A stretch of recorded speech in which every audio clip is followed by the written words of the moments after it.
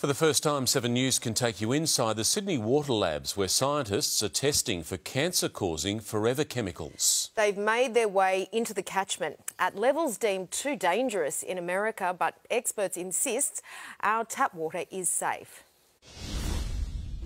At a quarantine lab, relentless testing.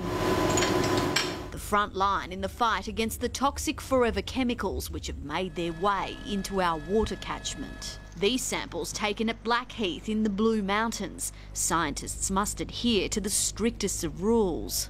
Our team don't shampoo their hair or wear sunscreen or even makeup 24 hours before they do their testing. PFAS chemicals are everywhere. PFAS chemicals do cause cancer. Some filter companies cashing in on fear. Advanced water treatment processes are the only way to, to remove PFAS from, from drinking water. It's very important to differentiate between an untreated water source like a dam and a treated water source. Recent testing found the level of PFAS in our treated tap water, sampled from sites across Sydney, is well within the Australian guidelines. Those standards, however, are currently under review. The US recently setting a much lower safe limit. 7 News understands results of that review are expected in the coming months. Concerns about PFAS in drinking water have prompted a whole of government response. And while the focus has been on what's in tap water, scientists say we should be looking at how much PFAS